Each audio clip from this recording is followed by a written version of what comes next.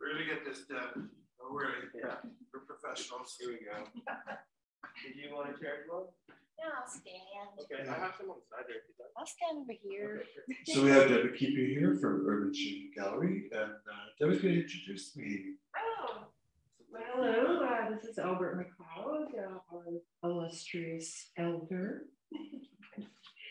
and uh, Albert is here tonight to moderate a question and answer with these two young fine actors. And that's all I'm saying. Thank you, Debbie. and we're at uh, Cinematheque Theater in downtown Winnipeg, and it's nine o'clock. I'm not sure where what time it is where you guys are. Is it bedtime? Wait, us? Yeah. In this job, there's no bedtimes. Yeah, we don't we don't have a bed. We're grown ups now. You don't want to go to bed. Yeah, we're just gonna try and get the sound turned up. So my name is Albert McLeod, and uh, and I know one of the uh, um, partners in this is the uh, Wabanaki Two Spirit Society, and then uh, John John Sylliboy played Mother Mary, so I know John John quite well, and uh, and I've been involved in the Two Spirit movement for 40 years now, beginning in Vancouver in 1979. And it's come quite a long way in terms of, um, you know, creating awareness about, you know, LGBTQ2 population among Indigenous peoples, Inuit Métis peoples. In Manitoba, we have uh, two Métis locals that are Two Spirit, and I know there's one in BC. And I know in the trip to uh, the Vatican to talk to the Pope recently, there was a Two Spirit person from BC who was part of that delegation. And so slowly that awareness is building. And in this film, it was very much about uh, a same sex relationship of two young men, and particularly Indigenous men in the East. And, um, and what I was thinking about is you, you're, I'm not sure if you have seen Brokeback Mountain, which was a, a similar type film about the intimacy and relationship between two men. Um, and how that ended, and then how your film ended. That your sort of your perspective on on sort of the narrative of this particular film and the message it, it you know, as Mary Simon said, what is the legend or the myth or the story that it is telling to us as Canadians? So either of you want to take that on? yeah, I um I guess you know this film has has made some comparisons, but I think exploring the two spirited people and and just that journey is is very different because when we're connecting to a big part of the story and a big part of the edit as well was was connecting the land as a part of our journey. Every time we were we would get through a new experience or or learn another lesson we would explore new land. And so it was sort of like metaphor analogy of, of that. And and that's a really important part of it because when you when you're able to connect with the land you're able to connect with yourself. And that's a big part of uh, of the two-spirited community and of course john was played a huge part in that and just making sure that me and josh uh, represented properly and and just really helped give us a deep understanding of of what that really means at the core and um, huge help. Huge help, Josh. Yeah, John was definitely a big help on informing us uh, of the two spirit information as well, and also as well as teaching the Mi'kmaq language for me. Mm-hmm. And yeah, like the language was really important, and I really wanted to uh, like do it justice for the language because like it's like not very often like indigenous people get to see their language like portrayed on screen and so that's what i kind of want to want to do like, like you know help like make the inspire the Mi'kmaq community just be like whoa it's so cool to have a film like like have our language on there. And exactly like like the um, reviews of like the Mi'kmaq communities of, of the film and they were it was like very very happy news and just it made me so happy like the amount of work I put in for the language, and it was all because of John. John uh, helped me with that, and I remember when I first came in, I was like working on the language for like a month, and John was like, "This is, this is not Mi'kmaq. You gotta, gotta do it with me." Yeah, I think that in the film, it, it really clearly shows a, a sort of a land-based perspective in the, the different locations, but also the different plants that really were up front, you know, on, on the screen. And, and, you know, when you were having the fight with the plants, with each other, those long, long plants, and, and just how in every scene there is a perspective on the local, you know, whether it's the trees where you meet the mother, or you know, as you're moving across the landscape, it's quite a, an amazing point of view where the plants are really in the forefront a lot of the time and become part of that story, uh, mm. you know, depending on, on what's happening. Um, now, when, when I saw, I was watching this earlier and I saw Mother Mary, and I was just, after that point in the film, I was just so fascinated. but, but just in terms of how, how that story of the Mother Mary is, is not overt, right? It's, you have to interpret the bar scene, the people, and who Mother Mary is, right? And, running the bar and, and all of those stories. So I thought that was a really good aspect of the, of the film where you, you introduce more the inside culture of the LGBT or the Two Spirit community, which is more complicated and, and sophisticated and nuanced, but also part of community, right? And, and so I, I, I thought that was really great. I, I know John, so it was great to see John on, on screen. Um, so I'm just going to ask the audience if there's any questions or comments people want to share. Okay, we got one here. Um, well, my dad's Mi'kmaq, and uh, my mom's from Sandy Bay in, in Manitoba, but I, um, I appreciate so much language. But how did you say that line when you were telling when you were telling him about having a big heart, but being angry? How did you say that? Uh, can you yeah, how did you when you when you were speaking um, about the, his big heart, and you're not translating, you're just and he's just sitting there.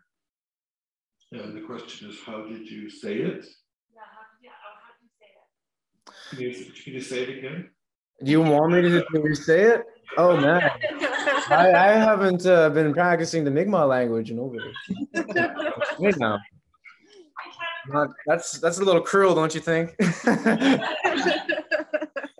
no, like yeah, that was um, a lot of it was like kind of like on point, but some parts during the edits, like that scene had to be like re-recorded dur- during ADR, and I remember like doing the ADR, the Mi'kmaq was still like in my system because I remember like I worked so hard on it, and it.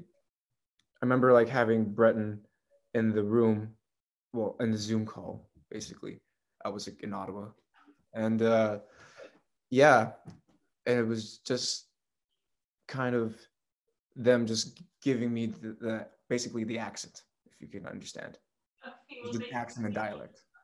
Thank you so much. I, I, I'm trying to learn Mi'kmaq, but clearly I should try to learn that. yeah. Thank you. Oh, here's another one. Yeah, I'm curious about the uh, the dancing. Did you have to learn, or is that part already was that already something that you uh, either or both of you were doing? I honestly, I lied during the film. I haven't danced since I was four. I danced like four months before. so, um, like if a, if like a professional fancy dancer saw that, like yeah, he's he's, he's lying. but no, but yeah, it was it was very very like nice to get introduced to that part of our culture like basically like me just regaining that culture and like living through the dance. And i remember like doing the dancing was very cathartic. Even like it, it was like i was dancing so hard that i would get blisters on my feet it would hurt to walk. It would just felt so good to just like dance with the, the crow hop and the, the the southern fancy and just yeah, we felt really connected, especially um, especially that the the last scene. The last scene was really good. Like I remember like for that scene, I was like, I gotta dance to a beat, you know, and like like, you get, like they're asking me to dance, and like I need to dance to a beat, so like I pull out my phone and I ask for a speaker, and like we just put on some pow wow music, some Northern Cree, and I just started like you know jamming, and uh, yeah, like I gotta thank Eric Mentuck from uh, Manitoba, like definitely was a big influence on part that. Part of the oh, sorry, that was Dennis actually. part of the story is about finding a place and finding family, uh, isn't it? And then ex- exploring these vacant places of memory or you know families past, which really I think is very much an experience for Indigenous youth today in North America of exploring the past, but also their future. And just a question about the quest, you know, for the mother and and the importance of that to to to gay people right of, of having that family and then towards the end there is the family there with the, the younger brother uh, and both of you really establishing that that chosen family that is not the you know what we would consider a nuclear family but but a, another type of family mm. any comments about that well, Philip, I've been speaking.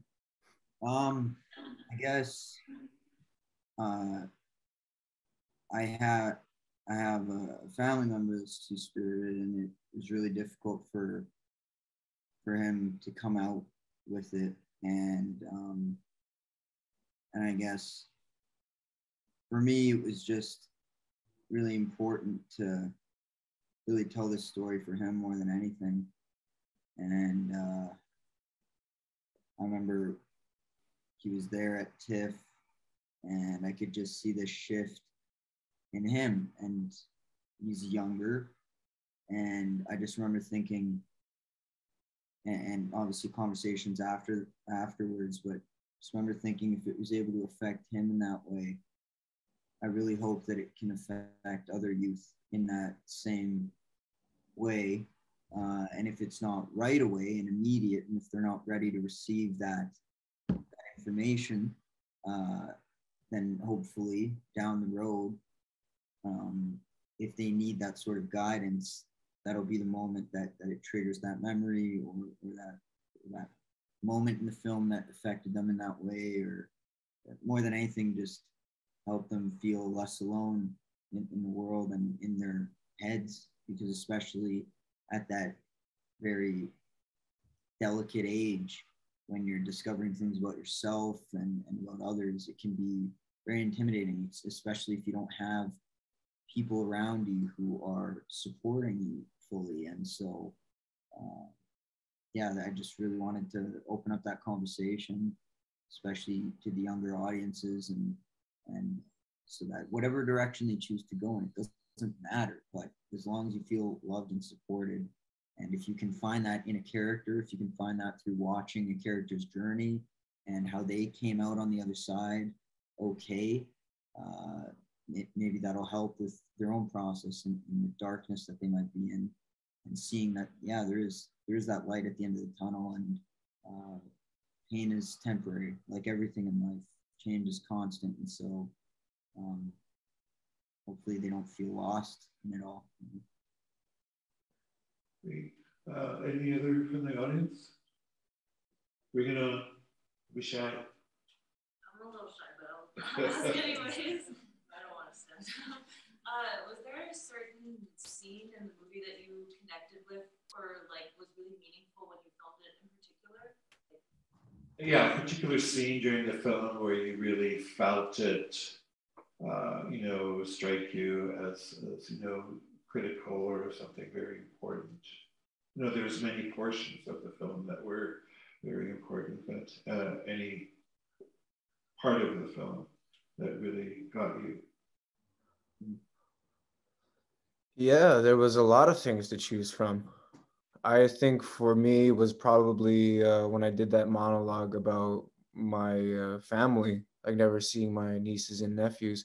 During that time, I definitely related to that scene because I, at the time, I never met my sisters, my brothers, nieces or nephews, or no, no one on my fam on my dad's side, and uh, but only until recently, until some unfortunate events, I got to meet my family, and it was really nice to, to see them, and it kind of felt something whole inside of me.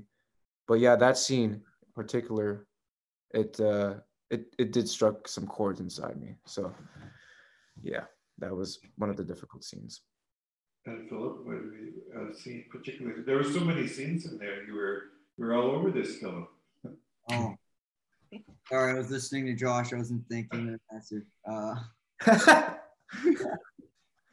uh, yeah, I guess like there's so many. I don't know. It's it's. Uh, uh, I guess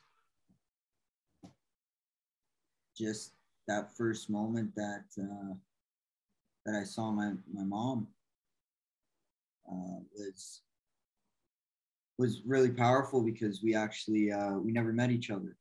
Me and, and the other actress, we uh, we were kept separate throughout the entire shoot, um, and they coordinated it that way so that the first moment that I see her is legitimately the first moment that I lay eyes on her, and uh, so when I looked up and I saw her, it was crazy. I she looks very similar to, to my mother, and so I almost had to like do a double take because I don't know, like it, it, it almost like I thought it was my mom for like a split second then, and it's like my mom's not a very good actress, so I hope it's not her.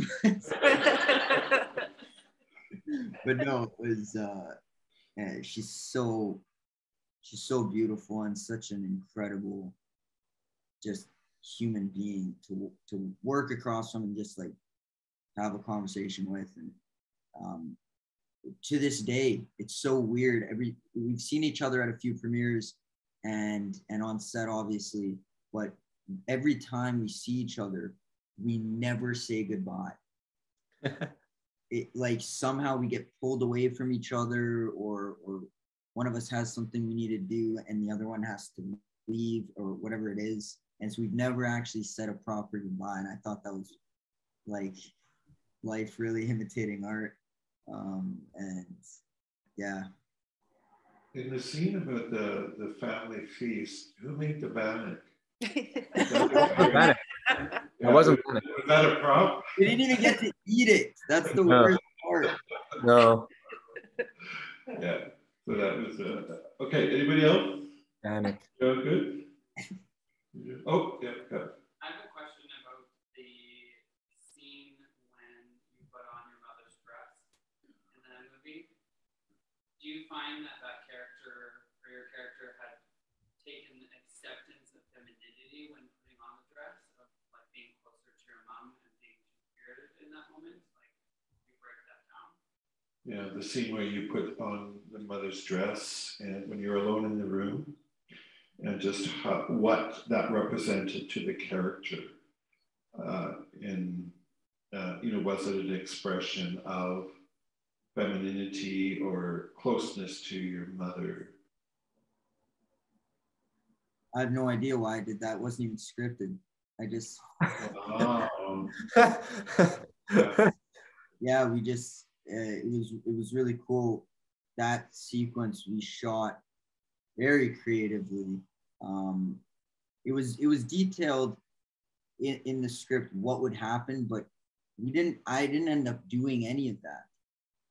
And Brett probably hates me for it, but um, I just kind of like explored the space and like it was a really cool set design and they had like a lot of options and I just saw this dress and um, it reminded me of a of a dress that my that my mom had. And I just like I re- I was really missing my mom too because it was a really long shoot and I was kind of homesick and in the middle of COVID so I couldn't couldn't fly any family in to visit me and uh, I just wanted to like like just hug her, I guess, and that and and that was my way of hugging her through the the dress that reminded me of her, I guess, and and then I just kind of threw the hanger over my head and continued on my way. that was it. Yeah, it was a great scene. Great. Anybody else? You good? Well, we want to thank you. We don't want to keep you too long. Uh, you know, it's getting late. It's actually nine, almost nine thirty here in Winnipeg. So thank you for joining us, and good luck. Any thoughts about the future projects?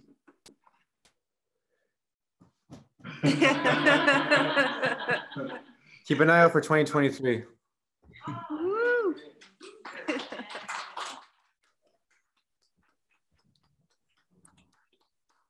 That's all. That's all.